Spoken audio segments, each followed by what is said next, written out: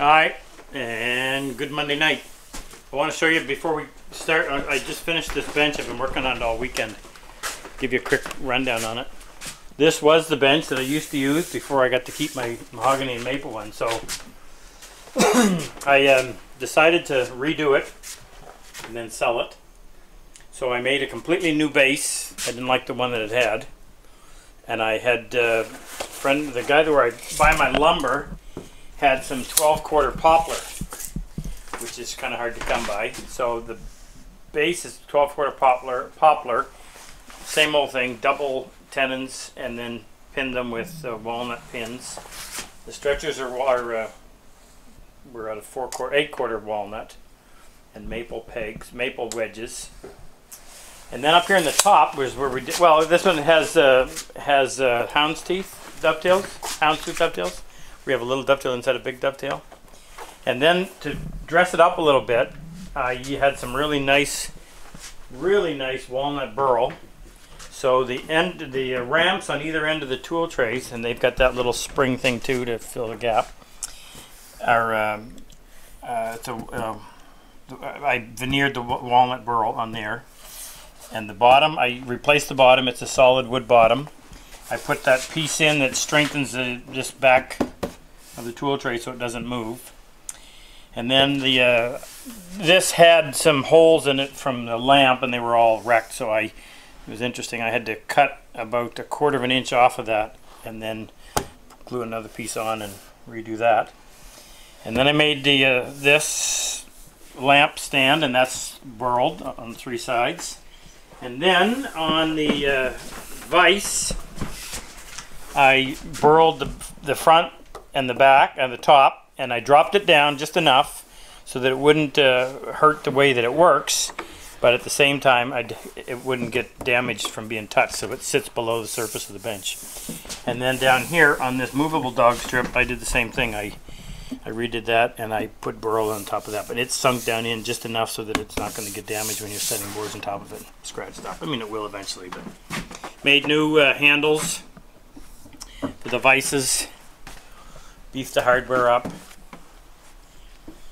Anyway, it's not sold yet, but there is somebody I think I can't remember who it was back in December that had asked me if I, if I would have if I had one for sale. I got to see if I can find the old email. That needs to be moved over. I'll just put that in. Anyway, back at this. So the other day, I had to have somewhere to put my chisel. So off camera, I just stuck that in there just to see what it was going to be like. And as it turned out, it it uh, instead of sitting back like that, it actually leaned forward a little bit. And for whatever reason, I like that better than having it stuck in like that. So I think I will play around with possibly leaving it like that.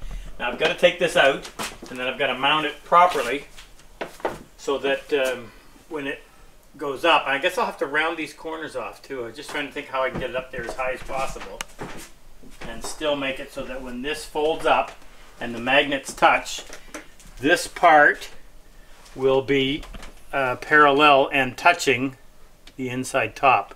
And then I'll have a magnet up in there and a piece of metal or something so that when that goes up, it'll hold it in place. And that'll be up high enough. Somebody was concerned about having to duck down to find those, but like I said, I don't use them enough to worry about that. Anyway, so I just got to figure out a way to hold this in place while I'm doing that. And I think what I'll do is just cut a couple pieces of plywood to secure that.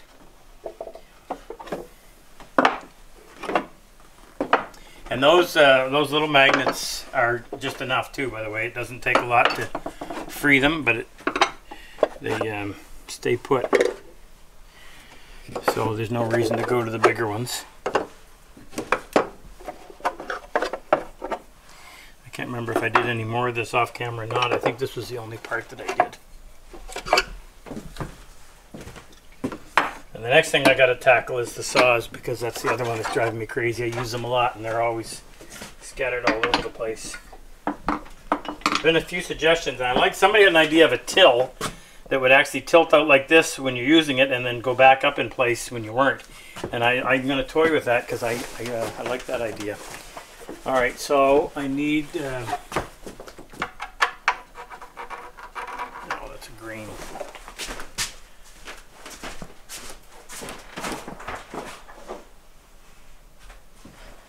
And for all the Canadians out there, happy Canada Day tomorrow. For all the Americans, I guess we'll see you guys before. You can hear the fireworks uh, starting already. We gotta get a jump on celebrations. Here's one.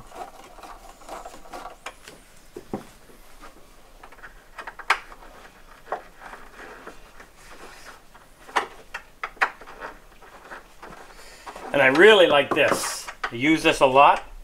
I find it very convenient. One thing I'm going to do a little bit different is I'm going to make a little pocket for this so that when that goes in, it goes down into a slot and then in there because that comes out. But as much as uh, some people thought that might be a little bit cumbersome, I really like it.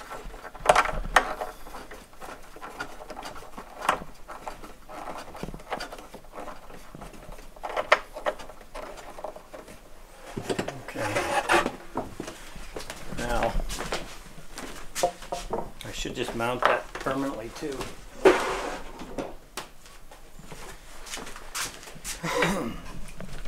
It needs to be secured a little bit better. I'm gonna take these out too.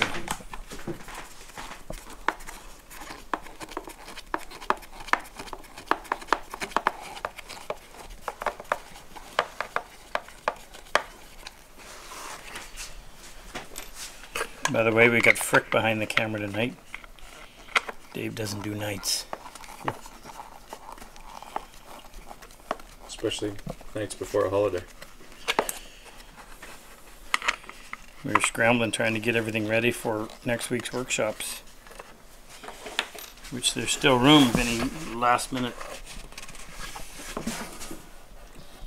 Did you Okay, annou- I- did you I- announce that I was going to be there for the last two? No, I didn't. Clash, Frick's gonna be there for the last two Kill me. clash should fill up now. What? Clash should fill up now. Yeah, I can hear the phone ringing. Where is my? See, I spend my entire day chasing around this shop trying to find tools because nothing has its place yet. So if this doesn't hurry up, I may go around the bend. Somewhere in here, I have a drill frick. I need There's, to. there's one over there. That's not the one I want. I want my nice little Makita. There it is over there in the corner.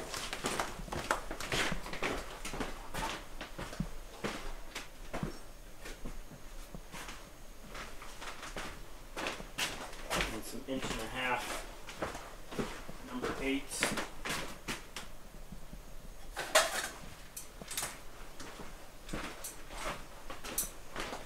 We got wood piled all over the place. Dave's been cutting up stock for uh, practicing dovetails. Everybody in the class will end up going through about 16 pieces, so that times 32 or so is a lot of wood. Okay. Now I didn't glue that dovetail together, but I don't think I need to. It's um, it's gonna stay put anyway.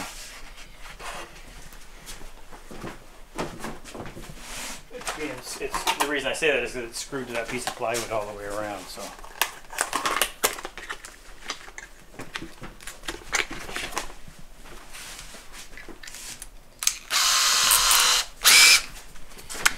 Now flush.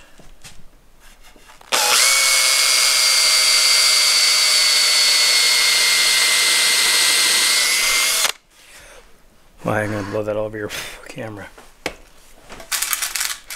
Soon as that goes into that plywood, it always moves. You can never seem to hit it just right.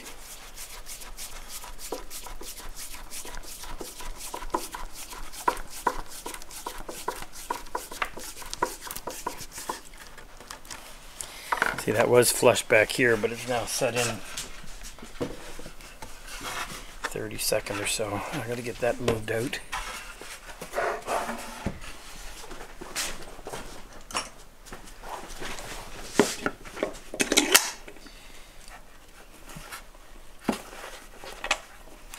And just push down on that until it moves it.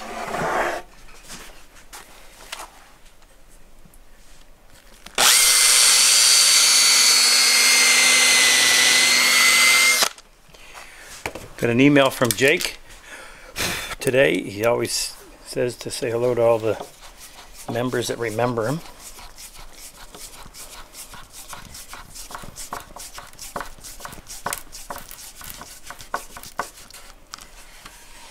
Okay. Now I don't think I need. Well, I'll put one up at the top just because that's where it's going to be pivoting from. Put that in there, right?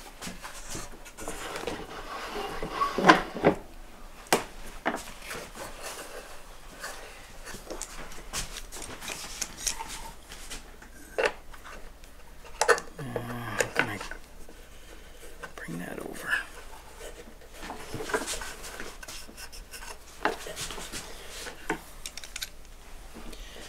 Need to squeeze that over somehow.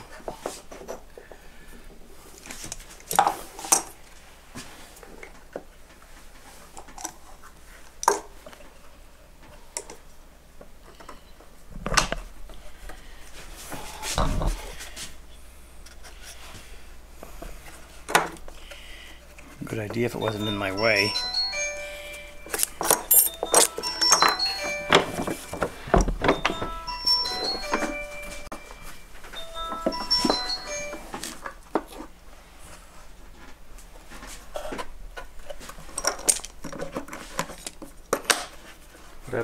ACDC? Well, my phone downloaded new something or other and it took away my ringtone. So can you bring it back? No probably. I'm going into that piece of birch instead of the plywood so it won't move on me again.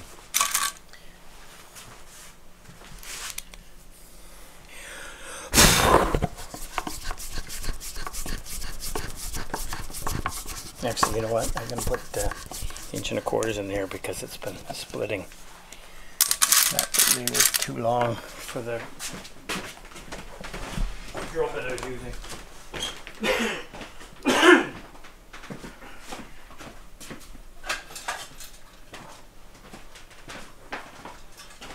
One of the best things I ever bought, there was a hardware store changing hands about 25 years ago, and they had these blue trays that they used to sell nails or screws in. And I got it for, I think, $25. There's about, well, there must be 100 trays over there, so. It's the one bit of organization that I have.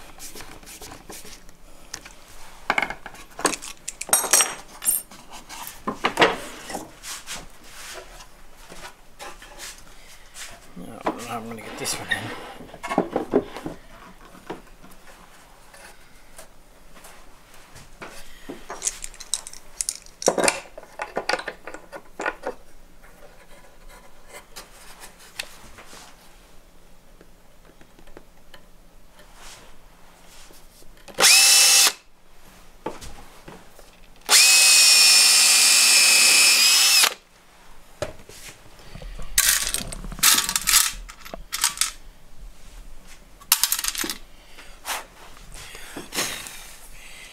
Okay, now what to use for a pivot point up there? I think it's best to be a screw for the simple reason that if I ever need to take it out, a screw would be most accessible.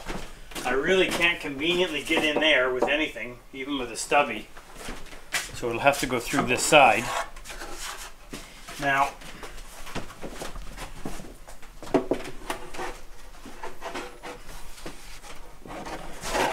that's uh, probably just as easy to playing a little bit off of that. And get that to fit.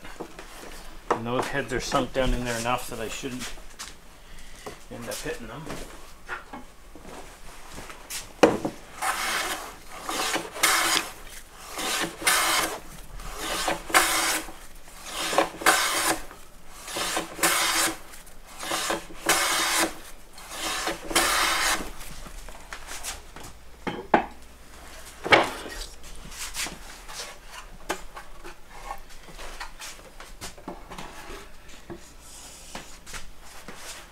Just did that a minute ago and it didn't mark. That might.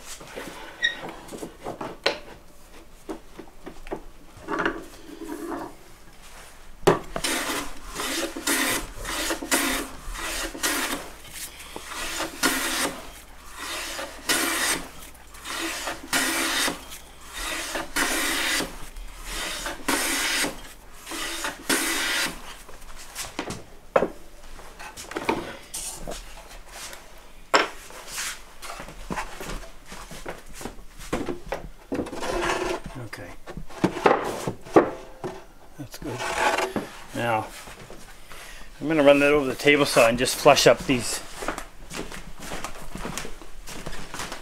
pieces. So I'll set it first, like so. Blade spins. So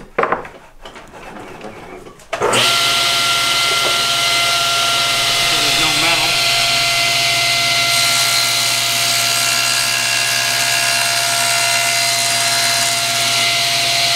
Just go right through with that.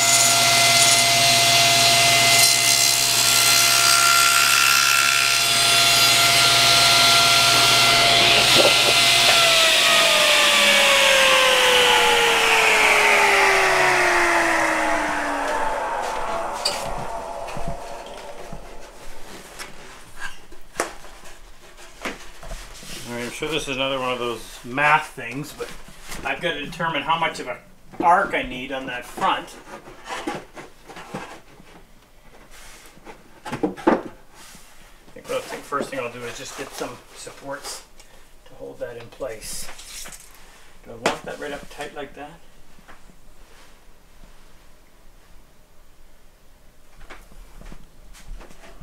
Probably best to have it down just a little bit. So that is 19 and a half. So if I went 19 and 7 sixteenths, pieces of three quarter plywood, 19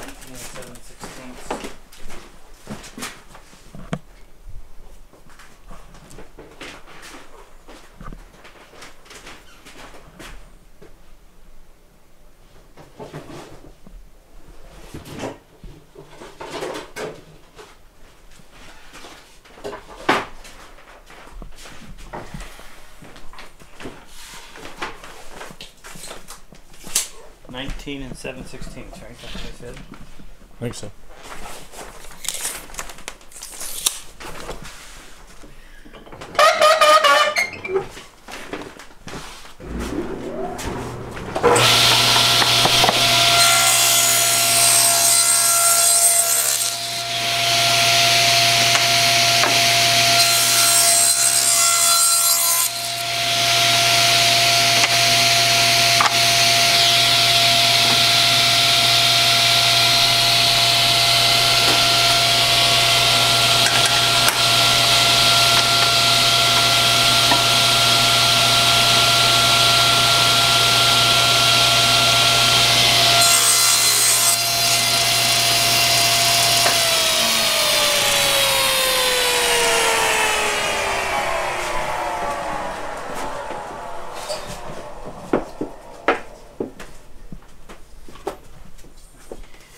I don't. Uh, I can't think of any reason why, or where this needs. I can't think of any reason why this needs to be positioned in any particular spot. I don't want it right out here because it would stick way out here when I'm at. I've got it in the up position trying to access these. So I'll just play around with that a little bit. I need something to hold these from moving.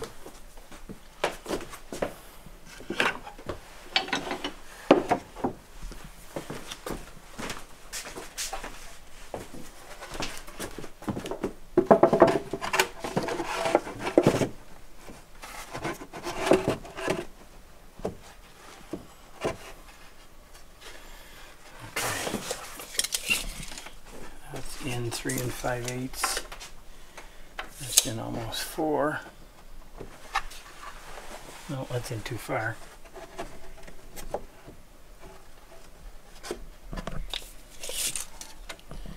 That's in 3 and 3 sixteenths. That's in 3 and 3 sixteenths. That's about. And that clears all the chisels. So,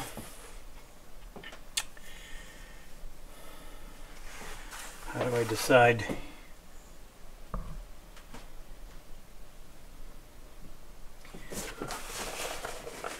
I really have no idea how to do this. What I'm trying to determine is what kind of an arc do I need to put on this. I want that to be fairly, I want the pivot point to be fairly close so that when this closes, this is right up against this. But I don't think that's possible because you'd have to pivot right here. So if you the farther away you move, obviously the more of an angle this is going to be on when it's in that position. But that's not bad either because then that would keep this piece up. That actually might be smart. If I drop that down a little bit more, and I can put an angled piece up in there that has the magnet, and that means that this thing, when it's when it's open, instead of instead of being like this, it could be. What an awkward. Could be up like that. That's still kind of in the way. That's not bad. All right, I'm just going to go ahead and do this and then figure out to work backwards. So I'm just going to put a radius on this front corner. What I need is about a something the size of a quarter. Can you change any Rick? No, You ever? no. Obviously, you don't get paid enough. Obviously. It's too big. I can't really get a compass in there conveniently, but I'll try.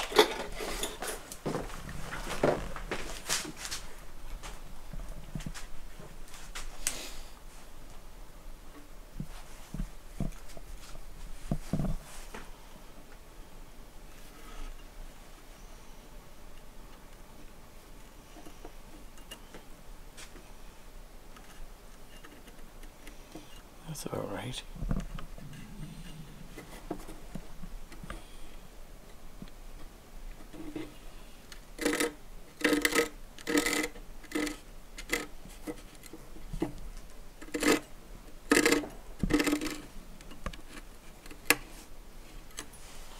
Okay, Same thing on the other side.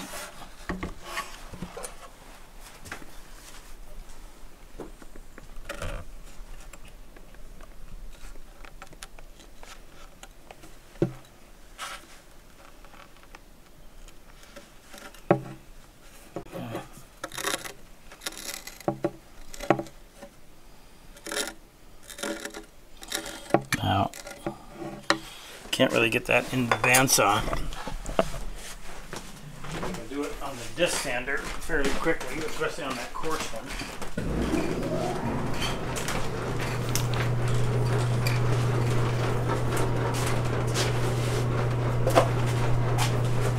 Hey, we got the uh, the big 16 inch joiner working too.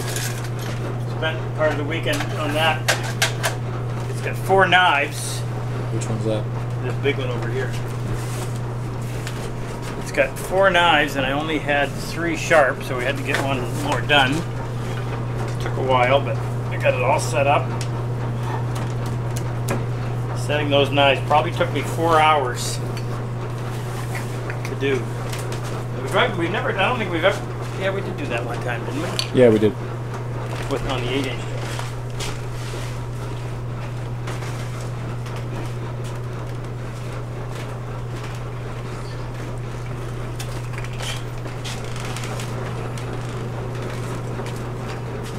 The long way around.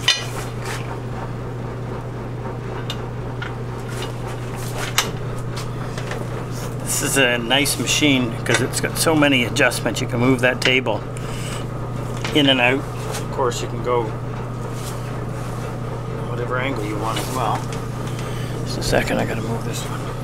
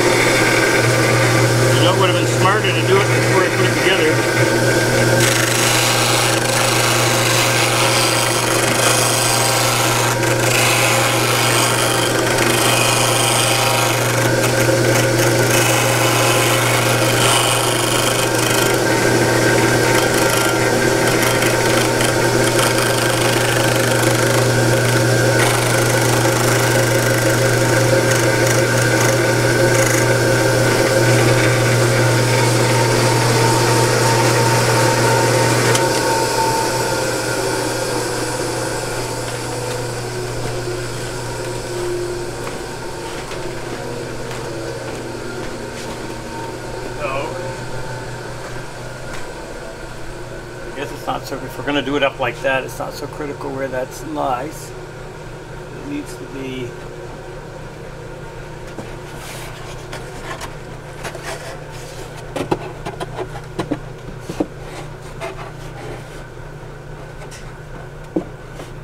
Position it.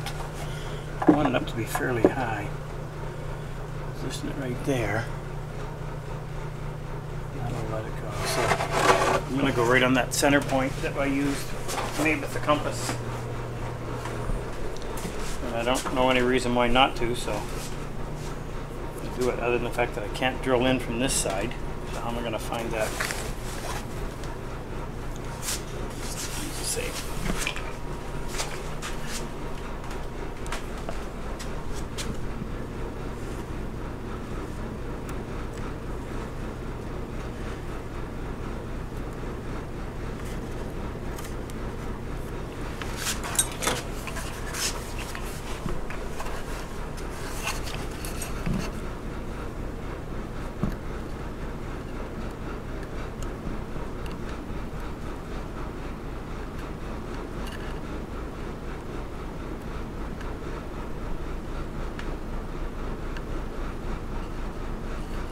There.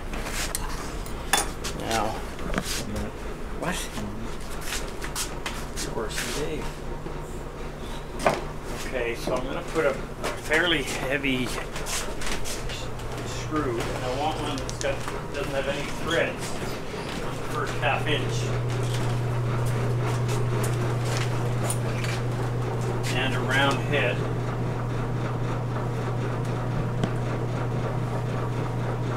I don't have anything that doesn't have any threads. What I would like is something like that, just so it's a little bit smoother on the pivoting part, and then just leave the threads in the wood or in the plywood. Guess I can get away with. I can use that. That's a number 10 by inch and a quarter. I may have to grind those off. That is three sixteenths.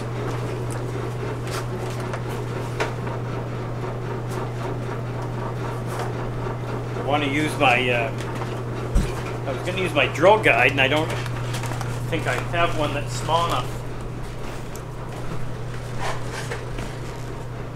Don't smallest on that is a quarter of an inch. I off. That's a dowel jig, and in order to get a hole bored properly when I can't use a drill press, is I'll often use that and just clamp it in place and drill, drill down through those holes. But I don't have. That doesn't go down to 3 16ths. So I'll take a 3 16ths drill bit and just go bore it through a piece of wood use that as the guide. I want that to be straight just so it'll pivot properly. Are you serious? We burned up the whole episode on this? I thought we accomplished quite a bit. Just being nice. How- is it- are you- Now that you're the one that's doing it, is it still a big deal if we go over? Yeah, we still we have a weekly limit.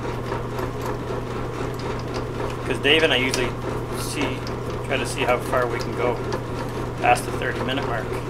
You don't go too far.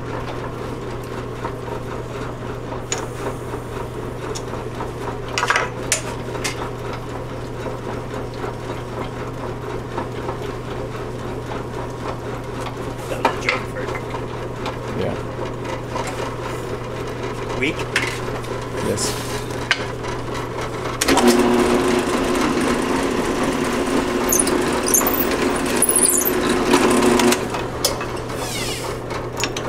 Are we out of time? Yep. All right, so next episode, I'll use this guide. See, I now I got to work all day tomorrow without this thing in place. We'll film in the morning. I'll use that as a guide to, to drill those holes so they're nice and square. And then we'll get this mounted. Hopefully it'll work properly. And then we have to install the magnets to get it to hang just right.